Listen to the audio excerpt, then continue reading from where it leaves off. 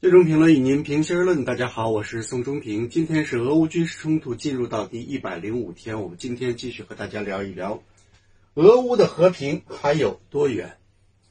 这个事情其实现在已经是系于一身，也就是泽连斯基。泽连斯基如果能够放弃自己的荣辱得失，那么这个事情或许能够尽快变成现实，也就是俄乌之间迎来和平。你看，泽连斯基就指出，如果要想恢复二月二十四号前的控制线，那么双方之间才可以去谈判，才可以谋得和平。这个话的意思是，乌克兰最终的目标还是要收回所有的领土。如果做不到这一点的话，没有办法谈。泽连斯基表示愿意和普京开展和平谈判，但是他也指出，胜利应该在战场上取得，但是这个呢，几乎是不可能。他又希望呢和普京进行一场对话，那么这场对话呢应该是双方之间的领导人开诚布公的去谈。但是作为泽连斯基来讲的话，也希望西方还是要加大对乌克兰提供军事援助。来看一看外部的势力，英国首相约翰逊就表示，不要强迫泽连斯基和俄罗斯签署不利于乌克兰的和平协议。其实是不利于西方国家的和平协议，所以外部的掣肘因素也是非常非常之多，包括德、法、意这些国家呼吁俄乌之间停火，要谋得和平，但爱沙尼亚总理呢就坐不住了，说现在为时尚早。所以我们能看得出来，有一些国家呼吁和平，有一些国家是反对和平。不仅如此。泽连斯基呢再次指出，由于自己的军队装备不如俄方而无力进攻，所以还需要提供更多的武器装备、先进的武器装备、进攻型的武器装备来给乌克兰军队。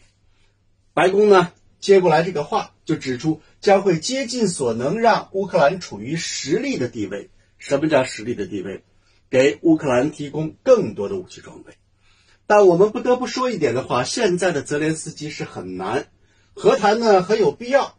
但作为泽连斯基，他现在要妥协的话是非常的痛苦。同时呢，英美这些国家呢也是不甘心失败。一旦谈成了和谈，达成了协议，做出了妥协，英美的战略拿乌克兰来制约俄罗斯的战略就彻底失败。其结果是什么？将会是以土地换和平。以土地来对抗西方国家对俄罗斯的制裁，这个是美国最不希望看到的事情。同时，我们知道，作为泽连斯基来讲的话，是不是还能打下去？关键在于两个支持度，一个就是国内的支持度，另外就是国际社会的支持度。如果这两个支持度越打越低，泽连斯基将很难再撑下去。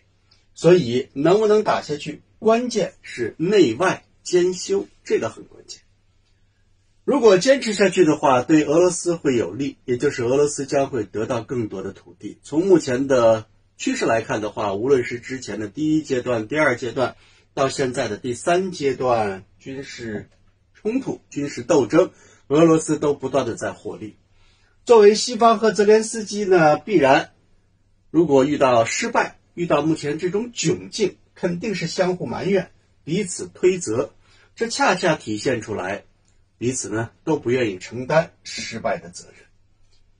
和平的时间节点呢，我们可以看一看二零二二年年底，也就是等下一个冬天再来的时候，我们看一看究竟情况如何。但是作为俄罗斯来讲的话，就算和平了，那么很多乌克兰地方武装也不会轻易的去举起和平的大旗。也会不断的对俄罗斯军队所控制的地区实施各种袭扰，因为俄罗斯拿走的是这些地方武装的地盘，那么他们呢也会和俄罗斯继续来打游击呀。所以和平确实不容易看到，尤其是长久的和。